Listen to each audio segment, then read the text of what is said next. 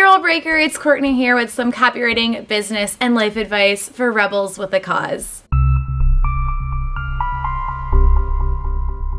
In this video, we're going to talk about creating a really, really great opt-in offer for your website.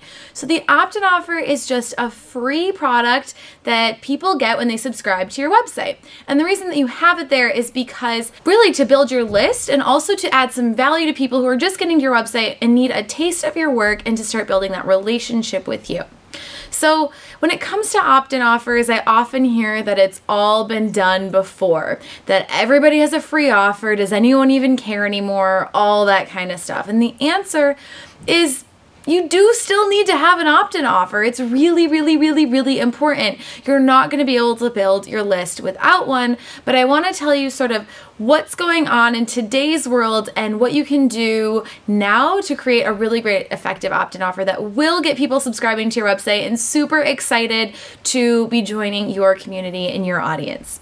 So number one, what should you create as an opt-in offer? I believe that the opt-in offer is like the first step in the process of working with you. Now, your business, your products, and your services are all in place to help people get to a certain ultimate desire, result, benefit, whatever you want to say. And I actually like to refer to this as the rainbow bridge. So I drew this a while ago and I'll explain it to you. So this cloud over here is where people are right now. And this pot of gold, work with me, I realize it is like a child's drawing. Um, but this pot of gold is where people want to be. And the rainbow bridge is your business. Your business is trying to help people get from where they are right now to where they want to be through your products and services. And also, each of your products and services is going to have its own little rainbow bridge drawing, but that is a topic for another video. So basically, what your opt-in offer is going to do is take people from the cloud just to the first step of the process, the first checkpoint on the rainbow bridge to help them to start getting towards achieving their goals. So I want you to think about where your audience members are right now and if there's something you can create for them that's really simple, really straightforward, super actionable that can help them to achieve a quick win and a desired result and to really see some sort of effect in their lives. Don't put too much pressure on this. The mistake people make is that they try to throw everything in the kitchen sink into their offers or they make them way too general.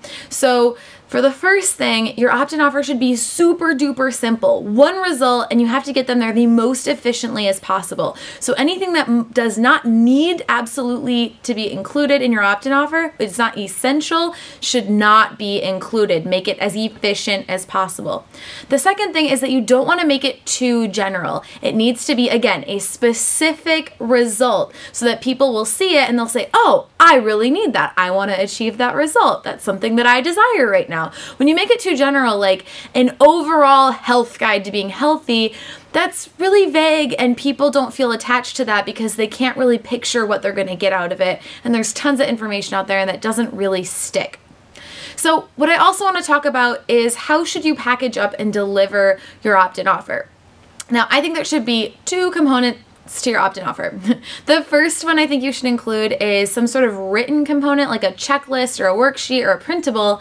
And I think you should also include some sort of audio or video to help the person start to get to know you. And this is especially important if you really are your brand. If you really are your business, then you definitely want to use this opt-in offer to start building that relationship. Another great idea is to spread out your opt-in offer over time so that you can really have a lot of touch points with people. So like I do in the copywriting cheat sheets, there's a cheat sheet per day for a few days and that allows me to start building a relationship with people who subscribe to the Rule Breakers Club over that first week so they start to get to know me and get used to opening emails from me so that it doesn't look like spam. All right, so I would love for you to go out there and tweak your opt-in offer, create a new one. You can always create new ones for different sales funnels in your businesses and all kinds of stuff. And if you have any questions about this, just pop on over to Twitter and tweet me at CourtRJ. And I also thought I'd mention that as long as you follow me on Twitter, you should also follow me on Periscope, which is my new favorite place to hang out. So you can also follow me there at, at CourtRJ. I tend to Periscope. I'm just trying it out, but a couple of times a day with some really fun behind the scenes topics and you can see how I'm using Periscope for my business. And I will see you